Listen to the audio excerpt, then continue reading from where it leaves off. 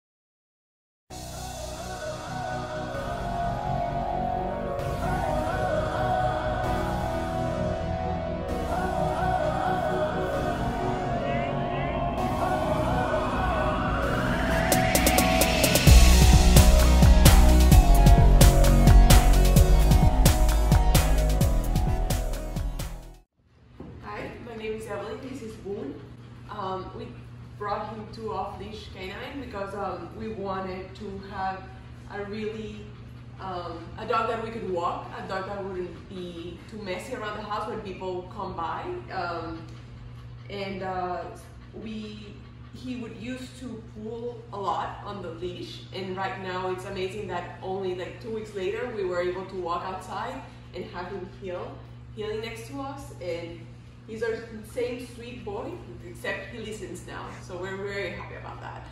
Thank you